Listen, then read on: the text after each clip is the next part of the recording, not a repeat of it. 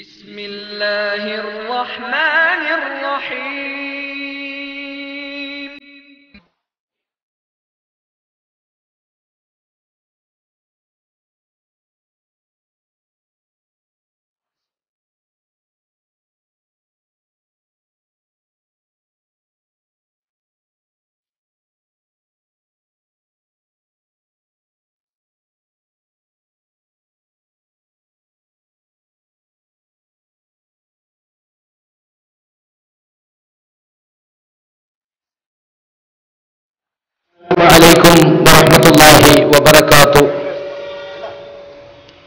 إن الحمد لله نحمده ونستعينه ونستغفره ونعوذ بالله من شرور أنفسنا ومن سيئات أعمالنا من يهده الله فلا مضل له ومن يضلل فلا هادي له وأشهد أن لا إله إلا الله وحده لا شريك له وأشهد أن محمدا عبده ورسوله. يا أيها الذين آمنوا اتقوا الله حق تقاته ولا تموتن إلا وأنتم مسلمون. أما بعد فإن خير الحديث كتاب الله وأصدق السنن سنن محمد صلى الله عليه وسلم وشر الأمور محدثاتها وكل محدثة بدعة وكل بدعة ضلالة وكل ضلالة في النار. رب اشرح لي صدري ويسر لي أمري. واحلل عقدة من لساني يفقه قولي പ്രിയമുള്ള സഹോദരി സഹോദരന്മാരെ മുജാഹിദ് പ്രവർത്തകരെ നാട്ടുകാരെ ഈ വാക്കുകൾ ശ്രദ്ധിക്കുന്ന സഹൃദയരായ ശ്രോതാക്കളെ അള്ളാഹുവിൻ്റെ നിയമനിർദ്ദേശങ്ങൾ ജീവിതത്തിലുടനീളം പാലിച്ചുകൊണ്ട് അവന്റെ വിധിവിലക്കുകൾ മാനിച്ചുകൊണ്ട് അവസാന നിമിഷം വരെ തക്വയിൽ അധിഷ്ഠിതമായി ജീവിക്കുവാൻ ഈ പറയുന്ന ഞാനും കേൾക്കുന്ന നിങ്ങൾ ഓരോരുത്തരും ആത്മാർത്ഥമായി പരിശ്രമിക്കണമെന്നാണ് ആമുഖമായി ഓർമ്മപ്പെടുത്തുവാനുള്ളത്.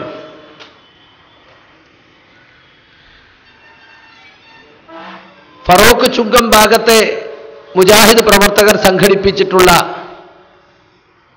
ആദർശ വിശദീകരണ യോഗമാണ് ഇവിടെ ആരംഭിക്കുന്നത്. മുജാഹിദ് പ്രസ്ഥാനത്തിൽ ഈയിടെ സംഭവിച്ചിട്ടുള്ള ചേരിതിരിവുകളും അതിന്റെ അടിസ്ഥാനത്തിലുള്ള വിശദീകരണ യോഗങ്ങളുമൊക്കെ ഇവിടെയും നടന്നിട്ടുണ്ട് എന്ന് ഞാൻ പറയാതെ തന്നെ ഈ പ്രദേശത്തുകാർക്കറിയാം. കേരള നദുവത്തുൽ മുജാഹിദിനെയും കേരള ജമീയത്തുലുമയും കുതന്ത്രങ്ങളിലൂടെ കൈവശപ്പെടുത്തിയ ഒരു കോക്കസ്. ഇവിടെ പലയിടത്തും വിശദീകരണം സംഘടിപ്പിക്കുന്നത് പോലെ ഇവിടെയും വിശദീകരണങ്ങൾ സംഘടിപ്പിക്കുകയും അത് കേട്ട് തെറ്റിദ്ധരിച്ച കുറെ ആളുകൾ അല്ലെങ്കിൽ ഏതാനും ആളുകൾ ഈ പ്രദേശത്തുണ്ട് എന്ന് ഈ സംഘാടകർ മനസ്സിലാക്കുകയും ചെയ്തതിന്റെ അടിസ്ഥാനത്തിലാണ് ഇങ്ങനെയൊരു വിശദീകരണ യോഗം ഇവിടെ വെക്കാൻ പ്രവർത്തകർ നിർബന്ധിതരായിട്ടുള്ളത്. സാധാരണയായി നാം സംഘടിപ്പിക്കുന്ന യോഗങ്ങളിൽ നിന്നും വ്യത്യസ്തമായി അല്പം വിഷമത്തോടും വേദനയോടും കൂടിയുമാണ് ഇങ്ങനെ ഒരു പരിപാടി ഇവിടെ സംഘടിപ്പിച്ചിട്ടുള്ളത്. മുജാഹിദ് പ്രവർത്തകരെ സംബന്ധിച്ചിടത്തോളം ഒരു പരീക്ഷണത്തിന്റെ കാലമാണിത്. എന്തൊക്കെയാണ് പ്രസ്ഥാനത്തിൽ സംഭവിക്കുന്നത് എന്ന് എല്ലാവരും ആശങ്കയോടെയും വിഷമത്തോടെയും മാത്രം നോക്കിക്കാണുന്ന ഒരു സന്ദർഭത്തിലാണ് ഞാനും നിങ്ങളും നിലകൊള്ളുന്നത്.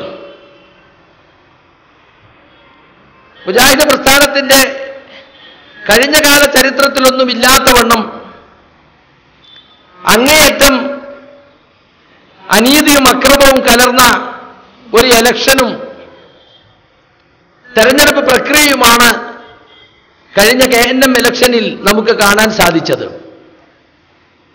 കുതന്ത്രങ്ങളിലൂടെയും കള്ളപ്രചരണങ്ങളിലൂടെയും സംസ്ഥാന നേതൃത്വം പിടിച്ചെടുത്ത ആ കോക്കസ് തങ്ങൾക്ക് ഇഷ്ടമില്ലാത്തവരെയൊക്കെ വെട്ടിനിരത്തിയും കേരള പാർട്ടികളെ പോലെ ഒതുക്കിയും അരുക്കാക്കാൻ ശ്രമിച്ചും ആളുകളുടെ ശാപവും കോപവും ഏറ്റുവാങ്ങിക്കൊണ്ട് ഈ പ്രസ്ഥാനത്തിന് വേണ്ടി അധ്വാനിക്കുന്ന ഒരുപാട് ആളുകളെ വിഷമിപ്പിച്ചുകൊണ്ട് മുന്നോട്ട് പോവുകയാണ്. എല്ലായിടത്തും കോക്കസ് വരികയും കോക്കസിന് ആളുണ്ടാക്കാൻ വേണ്ടി സംഘടന അച്ചടക്കത്തിന്റെ വാൾ കാട്ടി വജ്രായുധം കാട്ടി ഭീഷണിപ്പെടുത്തുകയും ചെയ്യുന്ന ഒരു കാഴ്ചയാണ് പലയിടത്തും കണ്ടുകൊണ്ടിരിക്കുന്നത്. ഒരു പ്രശ്നവുമില്ലാതെ ഏതാനും പ്രവർത്തകർ അവിടെയുള്ള പള്ളിയും മദ്രസും ദാവത്തുമൊക്കെയായി നല്ല നിലയ്ക്ക് മുന്നോട്ട് പോകുന്ന സ്ഥലങ്ങളിൽ ഈ കോക്കസിന്റെ വിശദീകരണം കഴിയുന്നതോടെ പ്രവർത്തകർ ചേരിതിരിയുകയും പ്രവർത്തകർക്കിടയിൽ ഭിന്നത രൂക്ഷമാവുകയും പള്ളിയിലും മദ്രസയിലുമൊക്കെ അല്ലറ ചില്ല അസ്വാരസ്യങ്ങളും വെല്ലുവിളികളും പിടിവലികളുമൊക്കെ ഉണ്ടായിക്കൊണ്ടിരിക്കുകയും ചെയ്യുന്ന കാഴ്ചയാണ് നമുക്ക് കാണാൻ സാധിക്കുന്നത്. രണ്ടായിരത്തി രണ്ടിൽ ഈ പ്രസ്ഥാനത്തിൽ നിന്നും പിളർന്നുപോയ ഹുസൈൻ മടവൂരിന്റെ കൂടെയുള്ള ആളുകൾ അവർ പറഞ്ഞിരുന്ന ആരോപണങ്ങളും അവർ ഉന്നയിച്ചിരുന്ന ആക്ഷേപങ്ങളും കടമെടുത്തുകൊണ്ടാണ് ഇപ്പോൾ ഈ കോൺഗ്രസ് മുജാഹിദ് പ്രവർത്തകർക്കെതിരിൽ ശിർക്കാരോപണവുമായി രംഗത്ത് വന്നിട്ടുള്ളത്. മടവൂരും കൂട്ടരും എന്താണോ? കഴിഞ്ഞ കുറെ വർഷങ്ങളായി ഈ പ്രസ്ഥാനത്തിനെതിരിൽ മൊത്തമായി ആക്ഷേപിച്ചിരുന്നത്. അതേ ആക്ഷേപം ഇന്ന് ഈ പ്രസ്ഥാനത്തിന്റെ വലിയൊരു വിഭാഗം പ്രവർത്തകർക്കെതിരിൽ ഈ കോക്കസ് ഇപ്പോൾ ഉന്നയിച്ചുകൊണ്ടിരിക്കുന്നു എന്നത് ഇവിടെ പ്രസംഗം കേട്ട എല്ലാവരും മനസ്സിലാക്കിയിട്ടുണ്ടാകും എന്നാണ് ഞാൻ കരുതുന്നത്. പലരും ചോദിക്കുന്നത് നിങ്ങൾ ഒരു വിഭാഗം അങ്ങ് നിർത്തിയാൽ പ്രശ്നമുണ്ടാകുമോ? സക്കരിയ സലാഹി എന്തിനാ വിശദീകരിക്കാൻ ഇറങ്ങിയത്? സംഘടന പുറത്താക്കിയാൽ വീട്ടിലിരുന്നാൽ പോരെ. പിന്നെ മൈക്ക് കെട്ടി വിശദീകരിക്കുന്നത് എന്തിനാണ്? പലരും വിചാരിച്ചത് അങ്ങനെയാണ്. എന്നെ അങ്ങ് മൂലക്കിരുത്തി മുജാഹിദ് പ്രവർത്തകരെക്കുറിച്ചുള്ള ഈ ശിർക്കാരോപണവുമായി മുന്നോട്ട് പോയി. സംഘടനയും സ്ഥാപനങ്ങളും കൈവശപ്പെടുത്തി അതിന്റെ മറവിൽ തങ്ങളുടെ സ്വാർത്ഥ താൽപര്യങ്ങൾ സംരക്ഷിക്കാമെന്നാണ് ഈ കോക്കസ് കണക്ക് കൂട്ടിയത്. എന്നെ സംബന്ധിച്ചിടത്തോളം എന്നെ ഒരു ആറു മാസം മാറ്റി നിർത്തി. പ്രസംഗവേദികൾ അനുവദിക്കാതെ സംഘടനാ വേദികളിൽ പ്രസംഗിക്കാൻ പാടില്ലെന്ന് പറഞ്ഞുകൊണ്ട് എനിക്ക് നോട്ടീസ് തന്നു. ഹുത്തുമയല്ലാതെ മറ്റൊന്നും പാടില്ല എന്നായിരുന്നു നിയമം. K N M I S M M S M തുടങ്ങിയ പോഷകഘടകങ്ങളുടെ പരിപാടിയിലോ വിദേശ ഇസ്ലാഹി സെന്ററുകളുടെ പരിപാടിയിലോ പോലും പങ്കെടുക്കാൻ പാടില്ലെന്നാണ് നോട്ടീസിൽ പറഞ്ഞിരുന്നത്. ആ പറഞ്ഞതനുസരിച്ച് പലരും വിളിച്ചെങ്കിലും ഞാൻ സംഘടനയ്ക്ക് വേണ്ടി സംഘടനയിലൊരു ചിത്രത എന്റെ പേരിൽ ഉണ്ടാകരുത് എന്ന് കരുതി ഞാൻ ആരുടെയും ക്ഷണം സ്വീകരിക്കാതെ എവിടെയും പ്രസംഗിക്കാതെ കഴിച്ചുകൂട്ടി. വിശദീകരണം ചോദിച്ചപ്പോൾ വിശദീകരണം എഴുതി കൊടുത്തു. നേരിട്ട് ഹാജരാവാൻ പറഞ്ഞപ്പോൾ നേരിട്ട് ഹാജരായി. അതൊക്കെ ചെയ്തിട്ടും ഒപ്പിടാൻ പറഞ്ഞെടുത്ത് ഒപ്പിട്ടിട്ടും പിന്നെയും നിഷ്കരണം നാട്ടുമര്യാദ പോലും പാലിക്കാതെ പുറത്താക്കിയാണ് ഉണ്ടായത്. പല ആളുകളും വിചാരിക്കുന്നത് പോലെ സംഘടന ഒരുപാട് എന്നെ ഉള്ളിൽ നിർത്താൻ ശ്രമിച്ചിട്ടും ഞാൻ കുതറിച്ചാടിയതാണ് വാശി പിടിച്ച് പുറത്തു വന്നതാണ് എന്നാണ് ചില ആളുകൾ ധരിച്ചിട്ടുള്ളത്. ഇരുപത്തിമൂന്ന് നടപടിക്രമങ്ങളിലൂടെ ആറ് വർഷമായി എന്നെ തിരുത്താനും എന്നെ ശരിയാക്കാനും വേണ്ടി ശ്രമിച്ചിട്ടും ഞാൻ അതിന് വഴങ്ങിക്കൊടുത്തില്ലെന്നും എന്റെ പിടിവാശിയും മർക്കടമുഷ്ടിയുമാണ് പുറത്തു വരാൻ കാരണമായതെന്നുമാണ് ചില കേന്ദ്രങ്ങൾ ഗൂഢമായി പ്രചരിപ്പിക്കുന്നത്. വാസ്തവം നേരെ മറിച്ചാണ്. എന്നോട് കാണിച്ച അനീതികൾ എണ്ണി പറയുകയാണെങ്കിൽ അതിന് തന്നെ മണിക്കൂറുകൾ വേണ്ടി വരും. അതത്ര പ്രസക്തമല്ലാത്തത് കൊണ്ട് ഞാനത് ചുരുക്കി മാത്രം പറയുകയാണ്. ഞാൻ വിദേശത്തുള്ളപ്പോഴാണ് പൊളിക്കൽ ഞാൻ പ്രസംഗിച്ചതിന്റെ പേരിൽ എനിക്കവർ ഷോക്കോസ് നോട്ടീസ് തന്നത്. പ്രഖ്യാപിത ആദർശത്തിനും പ്രബോധന മര്യാദക്കുമെതിരായി പുളിക്കൽ പ്രസംഗിച്ചു. ഇന്ന് വരെ ഏത് പ്രഖ്യാപിത ആദർശത്തിനെതിരിൽ എന്തു പ്രസംഗിച്ചുവെന്ന് എനിക്ക് എനിക്കിതുവരെ വ്യക്തമാക്കി തന്നിട്ടില്ല. മുജാഹിദ് പ്രസ്ഥാനത്തിന് പ്രഖ്യാപിച്ച ഒരാദർശവും പ്രഖ്യാപിക്കാത്ത ഗൂഢമായ മറ്റൊരാദർശവും ഉണ്ട് എന്ന് ഒരൊറ്റ മുജാഹിദും വിശ്വസിക്കുന്നില്ല. എങ്കിൽ ഏത് ആദർശത്തിനെതിൽ എന്ത് പ്രസംഗിച്ചുവെന്ന് അറിയാനുള്ള അവകാശം മുജാഹിദ് പ്രവർത്തകർക്ക് ഓരോരുത്തർക്കുമുണ്ട്. എനിക്കതിൽ കുറ്റപത്രം മറക്കി അത് നാടൊട്ടുക്ക് വിശദീകരിച്ച് നടക്കുന്ന ആളുകൾ ആ കുറ്റപത്രം ഇതുവരെയും എനിക്ക് തന്നിട്ടില്ല. ആറു വർഷമായി നീണ്ടു നിൽക്കുന്ന ഇരുപത്തിമൂന്ന് നടപടിക്രമങ്ങൾ സ്വീകരിച്ചു എന്ന് പറഞ്ഞ് കേരള ജമിയത്തുള്ളവയും കെ എൻ എമ്മും മതമൂരികൾ വലിച്ചിട്ട് ജിന്നു ശൈത്താൻ വിഷയം പരിഹരിക്കുന്നതിന് സ്വീകരിച്ച നടപടികളുടെ ഡേറ്റുകൾ അത് എന്റെ പേരിലുള്ള കുറ്റപത്രമാക്കി അവതരിപ്പിക്കുകയാണ് വാസ്തവത്തിൽ ചെയ്തിട്ടുള്ളത്. അതൊന്നും എന്റെ കുറ്റമല്ല യഥാർത്ഥത്തിൽ. മടമൂരികൾ പുറത്തുപോയപ്പോൾ രണ്ടായിരത്തി രണ്ടിൽ പറഞ്ഞു ജിന്നു സേവയിലേക്കും പിശാദ് പൂജയിലേക്കും കൊണ്ടുപോകുവാൻ ഈ പ്രസ്ഥാനത്തെ നയിക്കുവാൻ ഞങ്ങൾ അനുവദിക്കുകയില്ല. അന്നു മുതൽ അവർ തുടങ്ങിയതാണ് ഈ ഒരു ആക്ഷേപം. കെ ശിർക്കിലേക്ക് പോകുന്നു. കേന്നം അന്ധവിശ്വാസത്തിലേക്ക് പോകുന്നു. കുഴിച്ചു മൂടപ്പെട്ട ദുരാചാരങ്ങളെ തിരിച്ചു കൊണ്ടുവരുന്നു എന്ന് തുടങ്ങിയ പ്രചരണങ്ങൾ. ആ പ്രചരണങ്ങളെ നമ്മൾ ഒന്നിച്ചു നേരിട്ടു. ഇല്ല. സിർക്കിലേക്ക് പോയിട്ടില്ല. ഒരന്ധവിശ്വാസവും കൊണ്ടുവന്നിട്ടില്ല. ഖുർആാനിന്റെയും സുന്നത്തിന്റെയും പിൻബലമില്ലാത്ത വിശ്വാസങ്ങൾക്കും ആചാരങ്ങൾക്കുമാണല്ലോ അന്ധവിശ്വാസമെന്നും അനാചാരമെന്നും പറയുന്നത്. അങ്ങനെയുള്ള ഒന്നും ഇവിടെ കൊണ്ടുവന്നിട്ടില്ല. ആയിരത്തി നാനൂറ് കൊല്ലം മുമ്പ് റസൂൽ കൊണ്ടുവന്ന ദീൻ അത് സഹാബത്തും താബികളുമൊക്കെ എങ്ങനെ ഉൾക്കൊണ്ടു? അതിലുള്ളതല്ലാത്ത ഒന്നും ഞങ്ങൾ ഇവിടെ കൊണ്ടുവന്നിട്ടില്ല. കൊണ്ടുവന്നിട്ടുണ്ടെന്ന് തെളിയിക്കാൻ നിങ്ങൾക്ക് സാധ്യമല്ലെന്ന് മടവൂരികളെ വെല്ലുവിളിച്ചുകൊണ്ട് നമ്മൾ മറുപടി കൊടുക്കുകയുണ്ടായി. എന്ന് മാത്രമല്ല ജനങ്ങൾക്ക് സത്യാവസ്ഥ അറിയിക്കുവാൻ വേണ്ടി മുമ്പെഴുതിയ പ്രസിദ്ധീകരണങ്ങളും മുമ്പത്തെ ശവാബും മുമ്പത്തെ നമ്മുടെ പുസ്തകങ്ങളും അമാനി മൗലവിയുടെ പരിഭാഷയും അതുപോലെ ഇസ്ലാമിക ജീവിതം പോലുള്ള ഗ്രന്ഥങ്ങളുമൊക്കെ എടുത്തുകൊണ്ട് വിഷയങ്ങളുടെ നിജസ്ഥിതി നമ്മൾ ജനങ്ങൾക്ക് മനസ്സിലാക്കി കൊടുത്തു. സുഹൃത്തുക്കളെ ആ നടപടിക്രമം എന്ന് പറഞ്ഞ് വായിക്കുന്നത് ഓരോന്നും എടുത്തു നോക്കിയാൽ ഈ വിഷയം പ്രാമാണികമായി പരിഹരിക്കുന്നതിനു പകരം അത് ചർച്ച ചെയ്യണം. അതിന്റെ നിജസ്ഥിതി ജനങ്ങൾക്ക് ബോധ്യപ്പെടുത്തി കൊടുക്കണം.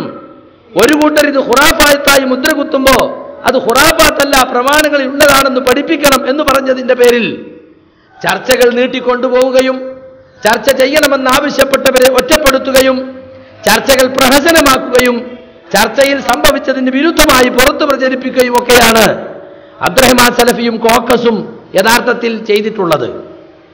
നിങ്ങൾ നോക്കൂ ജിന്നും സീറും ശൈത്താനും കേരളത്തിൽ മാത്രം എന്താ ഒരു കീറാമുട്ടി? ലോകത്തെല്ലാ സലഫി സംഘടനകളും ഈ വിഷയം ചർച്ചയില്ലേ? അവിടെയൊന്നും ഇതിന്റെ പേരിൽ ഒരു ചേരിതിരിവുണ്ടായിട്ടില്ല അവിടെയൊന്നും ഇതിന്റെ പേരിൽ ഗ്രൂപ്പിസം ഉണ്ടായിട്ടില്ല. ഇവിടെ ഗ്രൂപ്പിസം ചിലർ ഉണ്ടാക്കിയതാണ്. അവരുടെ ഗ്രൂപ്പിസത്തിനും സ്വാർത്ഥ താല്പര്യങ്ങൾക്കും ഒരു മറയാക്കി അവർ ജിന്നും സിഗറും സ്വീകരിച്ചതാണ്. യഥാർത്ഥത്തിൽ ഇവിടുത്തെ പ്രശ്നത്തിന്റെ മർമ്മമെന്ന് നിങ്ങൾ മനസ്സിലാക്കേണ്ടതുണ്ട്. പ്രശ്നം ഒതുക്കി തീർക്കാനും അടിച്ചമർത്താനും ശ്രമിക്കുകയല്ലാതെ പ്രമാണങ്ങളുടെ വെളിച്ചത്തിൽ പറഞ്ഞു തീർക്കാനോ പരിഹരിക്കുവാനോ നാണത്തത്തോടുകൂടി ചർച്ച ചെയ്യാനോ കേരള ജമ്മിയത്തുള്ളവയോ കേരളമോ ഇതുവരെയും തയ്യാറായിട്ടില്ല. സുതാര്യമായ ഒരു ചർച്ച ജമ്മിയത്തുമയുടെ മെമ്പർമാർക്ക് മുഴുവൻ കത്തുകൊടുത്തുകൊണ്ട് ഈ വിഷയത്തിന്റെ വിവിധ വശങ്ങളെ ചർച്ച ചെയ്തുകൊണ്ട് പ്രാമാണികമായി ആർക്കും മനസ്സിലാകാവുന്ന തരത്തിൽ ചർച്ച നടത്താനും അതിൽ നിന്ന് ജനങ്ങളെ പഠിപ്പിക്കേണ്ട വിഷയങ്ങൾ എന്തൊക്കെയാണെന്ന് പറയാനും ഇതുവരെയും കേരള ജമ്മിയത്ത് നമുക്ക് സാധിച്ചിട്ടില്ല. കേരള ജമ്മിയത്ത് വരെ ഇരട്ടത്താപ്പും വൈജ്ഞാനിക ഭീരുത്വവും ഒരു കോക്കസിന്റെ പിടിയിൽ അമർന്നപ്പോൾ ഉണ്ടായ തരം താഴ്ന്ന നിലപാടുകളുമാണ് വാസ്തവത്തിൽ ഈ പ്രസ്ഥാനത്തെ ഈ നിലയിൽ എത്തിച്ചത് ചില ആളുകൾ വിചാരിക്കുന്നത് പോലെ ഞാൻ വിശദീകരിക്കാൻ ഇറങ്ങിയതല്ല യഥാർത്ഥത്തിൽ ഇപ്പോൾ പ്രസ്ഥാനത്തിനുണ്ടായ പ്രശ്നം. പ്രസ്ഥാനത്തെ പൊളിക്കാനും തകർക്കാനും വേണ്ടി ഞാൻ മൈക്ക കെട്ടി പ്രസംഗിക്കുന്നില്ല. അങ്ങനെയാണെങ്കിൽ എനിക്ക് ഷോക്കോസ് നോട്ടീസ് കിട്ടിയ പിറ്റേ ആഴ്ച തന്നെ ആളുകളെ വിളിച്ചുകൂട്ടി ഒരു കൂട്ടായ്മ രൂപീകരിച്ച് ശക്തമായി ഇറങ്ങാമായിരുന്നു. പലരും അത് പറഞ്ഞതുമാണ്. പക്ഷെ ഞാൻ തിന്നിട്ടില്ല. ഞാൻ ആറു മാസത്തോളം സംഘടന പറഞ്ഞതുപോലെ അവർ നിശ്ചയിച്ചതുപോലെ എല്ലാ അച്ചടക്കവും പാലിച്ചുകൊണ്ട് മാറി നിൽക്കുകയാണ് യഥാർത്ഥത്തിൽ ചെയ്തത്. പിന്നെ എന്തു സംഭവിച്ചു? എന്നെ വിളിച്ചു. ഞാൻ എഴുതി കൊടുത്തു. ഞാൻ ഗൾഫിൽ നിന്ന് വന്ന് നാലാം ദിവസം തന്നെ എ പിയുടെ വീട്ടിൽ പോയി അവരെ കത്തിന് വ്യക്തമായ മറുപടി കൊടുത്തു. അപ്പോൾ ടി പിയും സെലഫിയും ഒക്കെ ഗൾഫിലായിരുന്നു മദനിയുമൊക്കെ അവർ തിരിച്ചു വന്നു. വീണ്ടും സി ഡി ടവറിലേക്ക് വിളിപ്പിച്ചു. ഞാൻ എഴുതി കൊടുത്തത് പരിഗണിക്കാതെ. അഞ്ചു മണിക്കൂറോളം ചർച്ച നടന്നു. ചർച്ച സംതൃപ്തമായി പിരിഞ്ഞു കെട്ടിപ്പിടിച്ച് സന്തോഷത്തോടെ പിരിഞ്ഞു. എന്നിട്ടും രണ്ടു മാസം വീണ്ടും അവർ ഏകപക്ഷീയമായ അന്വേഷണം നടത്തി പുതിയ കുറ്റങ്ങൾ ഉണ്ടാക്കാൻ ശ്രമിച്ചു. അങ്ങനെ ആഗസ്റ്റ് ഇരുപത്തിരണ്ടിന് കെ എൻ എം ഭരണസമിതി എന്നെ പുറത്താക്കിയാനുണ്ടായത്.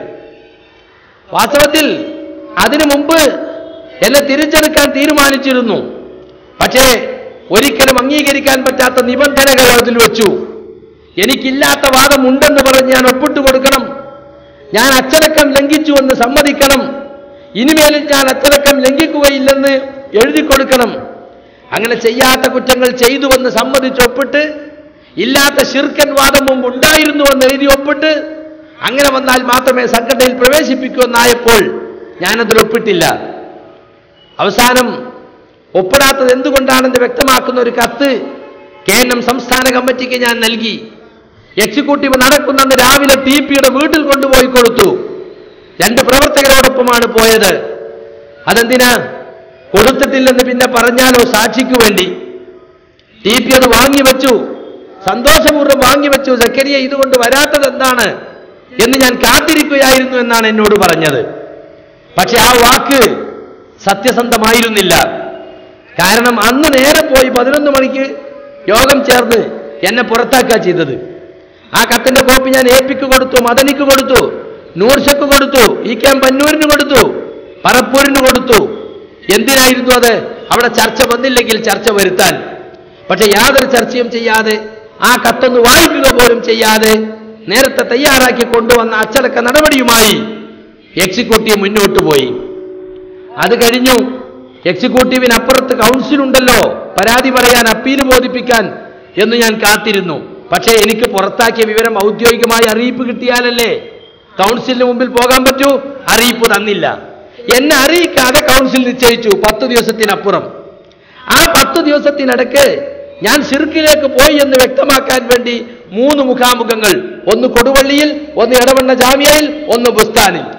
ബുസ്താനിലതും കഴിഞ്ഞ് പിറ്റേ ദിവസം കൗൺസിലാണ് ഈ മൂന്ന് കൗൺസിൽ ഈ മൂന്ന് മുഖാമുഖങ്ങളും ബൈലക്സിൽ ഇന്റർനെറ്റിൽ ലൈവ് കൊടുത്തുകൊണ്ട് ആർക്കും അവനവന്റെ വീട്ടിലിരുന്ന് കാണാവുന്ന തരത്തിൽ വളരെ രൂക്ഷമായി ഞാൻ സിർക്കിലൊക്കെ പോയിട്ടുണ്ടെന്നും ഷിർക്കൻ വാദമാണ് പ്രചരിപ്പിക്കുന്നതും കൗൺസിലർമാരെ ബ്രെയിൻ വാഷ് ചെയ്യാൻ വേണ്ടി എല്ലാത്തരം അഭിനയങ്ങളും നടത്തിക്കൊണ്ടുള്ള മുഖാമുഖ നാടകങ്ങളാണ് മൂന്നെണ്ണം നടത്തിയത്. അങ്ങനെ കൗൺസിൽ കഴിഞ്ഞു പിന്നെയും മൂന്ന് ദിവസം കഴിഞ്ഞാണ്. ആഗസ്റ്റ് ഇരുപത്തിരണ്ടിന് എക്സിക്യൂട്ടീവ് കൂടി അത് കഴിഞ്ഞ് സെപ്റ്റംബർ രണ്ടിനാണ് കൗൺസിൽ കൂടുന്നത്. സെപ്റ്റംബർ അഞ്ചിനാണ് എനിക്ക് കത്തയക്കുന്നത്. സെപ്റ്റംബർ ഏഴിനാണ് എനിക്ക് കത്ത് കിട്ടുന്നത്. നോക്കൂ നിങ്ങൾ ഇതൊക്കെ സംഘടനാപരമായ മര്യാദകളാണോ? എനിക്കതിൽ കുറ്റപത്രം അവിടെ കൗൺസിലും വായിച്ചു. പക്ഷെ ഇത്ര വിവാദമുള്ളൊരു സംഗതിയായിട്ട് അവിടെ ചർച്ച അനുവദിച്ചില്ല. ഈ തീരുമാനം ഈ കൗൺസിലിന് അംഗീകാരമുണ്ടെന്ന് പ്രഖ്യാപിക്കുന്നു എന്ന് പറഞ്ഞ് ഏകപക്ഷീയമായി ടി പി പ്രഖ്യാപിക്കുക ചെയ്തത്. കൗൺസിലിന്റെ പേരിന് ആലോചനാ സഭാന പക്ഷെ ഒരാലോചനയും അനുവദിച്ചില്ല. നേരത്തെ തീരുമാനിച്ചു കൊണ്ടുവന്നതനുസരിച്ച് അബ്ദുറഹ്മാൻ സലഫി തയ്യാറാക്കിയ ആ കുറിപ്പ് വായിച്ച് എനിക്കെതിരിൽ കുറ്റപത്രം സമർപ്പിച്ച് അത് അംഗീകരിച്ച് തക്കബീർ ചൊല്ലി പിരിയുകയാണ് വാസ്തവത്തിൽ ഉണ്ടായത്. അതോടൊപ്പം എന്നെ പുറത്താക്കിയെന്ന വിവരം വിചിന്തനത്തിൽ കൊടുത്തു. ആഗസ്റ്റ് മുപ്പതിന് വിചിന്തനത്തിൽ കാണാം. അതുപോലെ തന്നെ പത്രങ്ങൾക്ക് കൊടുത്തു. ജിന്നനെയും മലക്കനെയും വിളിച്ചു പ്രാർത്ഥിക്കുന്നതും സഹായം തേടുന്നതും ഷിർക്കാണ് എന്നാണ് കെ എൻ എം വിശ്വസിക്കുന്നത്. എന്നാൽ അത് ഷിർക്കാണെന്ന് അംഗീകരിച്ച് ഒപ്പുവെക്കുവാൻ ജക്കരിയ സലാഹി തയ്യാറായില്ല. അതുകൊണ്ടാണ് അദ്ദേഹത്തെ പുറത്താക്കിയത് എന്ന്. മാധ്യമത്തിൽ മാതൃഭൂമിയിൽ രാഷ്ട്രദീപികയിൽ അങ്ങനെ എല്ലാ പത്രങ്ങളിലും തുടരെ തുടരെ വന്നുകൊണ്ടേയിരുന്നു. ഞാൻ പത്രങ്ങളിൽ മറുകുറിപ്പ് കൊടുത്തു. എനിക്കങ്ങനെ വാദമില്ല. ഞാനങ്ങനെ പറഞ്ഞിട്ടില്ല.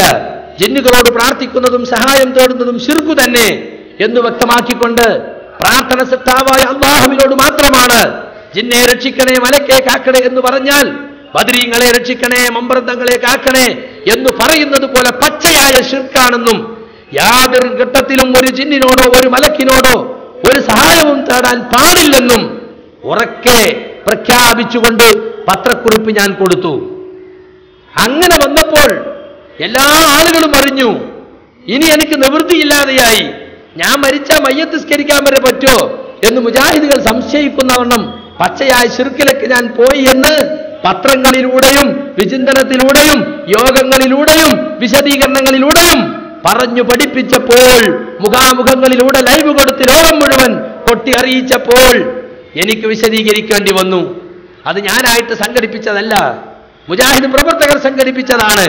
ഇതൊരു പകപോക്കലിന്റെയും ഒരു സംഘടന ഹൈജാക്കിങ്ങിന്റെയും ഭാഗമാണെന്നും ഇത് വിട്ടുകൊടുത്തുകൂടെന്നും പറഞ്ഞുകൊണ്ട് സാധാരണ പ്രവർത്തകർ തന്നെ ഈ പരിപാടികൾ സംഘടിപ്പിക്കാൻ മുന്നോട്ട് വന്നു. അങ്ങനെയാണ് ആദർശ വിശദീകരണ യോഗങ്ങൾ നടന്നത്. സെപ്റ്റംബർ എട്ടിൽ മഞ്ചേരിയിൽ ആരംഭിച്ചു. ഒക്ടോബർ ഇരുപത്തിനാലായപ്പോഴേക്കും ഇരുപത്തിരണ്ട് പ്രസംഗങ്ങൾ വിശദീകരണ യോഗങ്ങൾ നടന്നു. കേരളത്തിന്റെ നാനാഭാഗത്തും ഏതാണ്ട് എല്ലാ ജില്ലകളിലും കോട്ടയം പത്തനംതിട്ട ഒഴികെയുള്ള എല്ലാ ജില്ലകളിലും ജില്ലാ തലത്തിൽ വിശദീകരണം കഴിഞ്ഞു. അതിനുശേഷം ഇപ്പോൾ മേഖലാ തലത്തിലും ആവശ്യമുള്ള മറ്റ് സ്ഥലങ്ങളിലും ഇപ്പോൾ വിശദീകരണ യോഗങ്ങൾ നടന്നുകൊണ്ടിരിക്കുകയാണ് ഈ വിശദീകരണ യോഗങ്ങൾ സംഘടിപ്പിക്കുന്നത് മുജാഹിദുകളാണ്. ഇതിന് പണമിറക്കുന്നത് മുജാഹിദുകളാണ്. എന്തുകൊണ്ട്? എന്നെ പ്രൊമോട്ട് ചെയ്യാനല്ല. അത് വിശ്വസിക്കുന്ന ഒരു വിധിയല്ല ഞാൻ. എന്നെ ഉയർത്തിക്കാട്ടാൻ വേണ്ടിയല്ല. ഈ ആദർശത്തിന് പരിക്കേൽക്കുന്നു. ഈ ആദർശത്തെ ഒരു കൂട്ടം ആളുകൾ ഹൈജാക്ക് ചെയ്ത് നശിപ്പിക്കാൻ ഈ പ്രസ്ഥാനത്തെ നശിപ്പിക്കാൻ ശ്രമിക്കുന്നു എന്ന് മനസ്സിലാക്കിയത് കൊണ്ടാണ്. രണ്ടായിരത്തി പന്ത്രണ്ടിൽ ഒരു പുതിയ തിരുത്ത് തൗഹീദിന്റെ വിഷയത്തിൽ ഇവർ കൊണ്ടുവന്നു. മുജാഹിദുകൾ ഇതുവരെ സിർക്കല്ല എന്ന് പറഞ്ഞിരുന്ന ഒരു കാര്യം രണ്ടായിരത്തി പന്ത്രണ്ട് വരെ സിർക്കല്ല സിർക്കല്ല എന്ന് ആവർത്തിച്ചു പറഞ്ഞ കാര്യം ഇപ്പോൾ സിർക്കാണ് സിർക്കാണ് എന്ന് മാറ്റി പറഞ്ഞു. മാറ്റി പറയുക മാത്രമല്ല അതിനുവേണ്ടി ഒരു ഫത്വയുണ്ടാക്കി ജമിയത്തുമയുടെ പേരിൽ.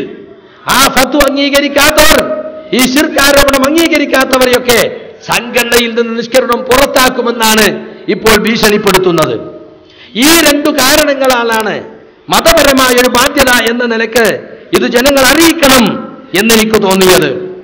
ഞാൻ പുറത്തിറങ്ങിയപ്പോഴാണ് മനസ്സിലായത് ആയിരക്കണക്കിന് മുജാഹിദുകൾ ഇവരുടെ ആശയ വ്യതിയാനങ്ങൾ തിരിച്ചറിഞ്ഞിട്ടുണ്ട്. ഇവരെ കുതന്ത്രങ്ങൾ മനസ്സിലാക്കിയിട്ടുണ്ട്.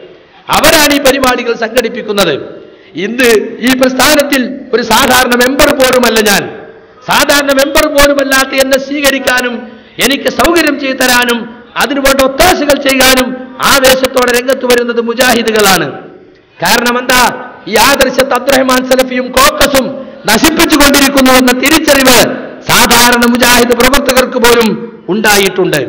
ഇവർ നടത്തിക്കൊണ്ടിരിക്കുന്ന ആദർശ വിശദീകരണം എന്ന പേരിൽ നടത്തുന്ന ഈ ശിർക്കാരോപണ സമ്മേളനം അതിന്റെ നിജസ്ഥിതി ആളുകൾക്ക് ഇപ്പോൾ ബോധ്യപ്പെട്ടു തുടങ്ങിയിട്ടുണ്ട്. സുഹൃത്തുക്കളെ നിങ്ങൾ ആലോചിച്ചു നോക്കൂ. എന്താണ് യഥാർത്ഥത്തിൽ ഇപ്പോൾ ഇവർ ജനങ്ങൾക്കിടയിൽ കള്ളപ്രചരണം നടത്തിക്കൊണ്ടിരിക്കുന്നത്? ജന്നിനോട് പ്രാർത്ഥിക്കാമെന്നും സഹായം തേടാമെന്നും പറയുന്ന ഒരു കൂട്ടർ ഈ പ്രസ്ഥാനത്തിലുണ്ടെന്ന പച്ച കള്ളമാണ് ഇവർ ജനങ്ങളുടെ മുമ്പിൽ പറഞ്ഞു കൊടുക്കുന്നത്.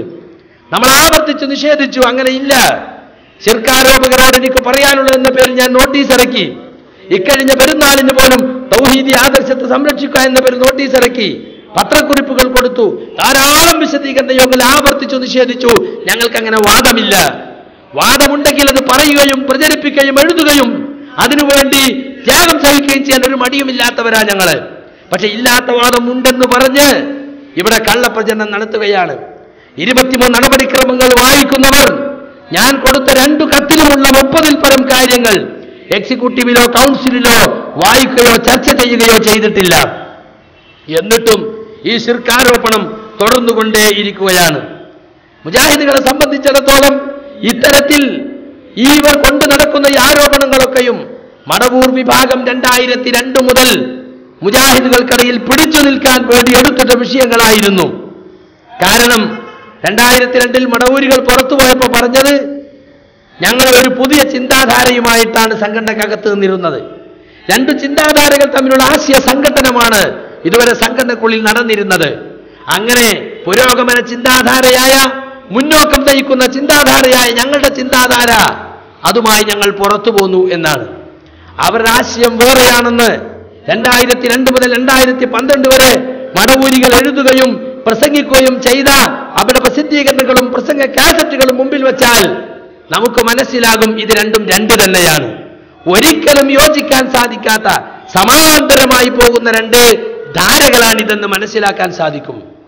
കഴിഞ്ഞ പത്തു വർഷം മടവൂരികൾ ജിന്നും സിഗറും പറഞ്ഞ് അന്ധവിശ്വാസത്തിലേക്ക് പോയി കേനം ശിർക്കിലേക്ക് പോയി എന്ന് കള്ളപ്രചരണങ്ങൾ നടത്തിയിട്ടും പ്രസ്ഥാനത്തിന്റെ വളർച്ചയെ തൊട്ടും ബാധിച്ചില്ലെന്ന് മാത്രമല്ല ഇസ്ലാഹി പ്രസ്ഥാന ചരിത്രത്തിൽ ഈ പ്രസ്ഥാനം ഏറ്റവും കൂടുതൽ വളർന്ന കാലഘട്ടം ഈ കഴിഞ്ഞ പത്തു വർഷമായിരുന്നു. ആർക്കും അത് നിഷേധിക്കാൻ കഴിയില്ല. എത്ര പള്ളികൾക്കാണ് സ്ഥലം വാങ്ങിയത്? എത്ര പള്ളികളാ ഉദ്ഘാടനം ചെയ്യപ്പെട്ടത്?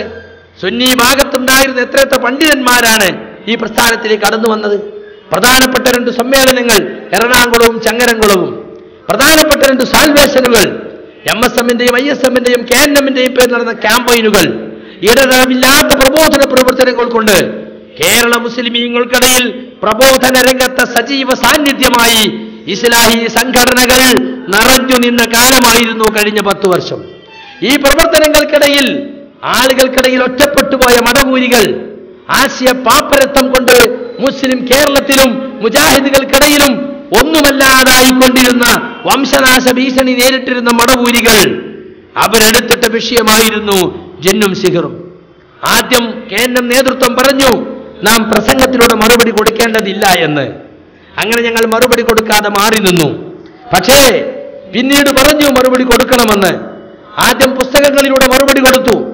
ഇപ്പൊ പല ആളുകളും പറയുന്നത് ജന്മസികര വിഷയത്തിൽ ആശയക്കുഴപ്പമുണ്ടാക്കിയ ആളാണ് ഞാനെന്ന്.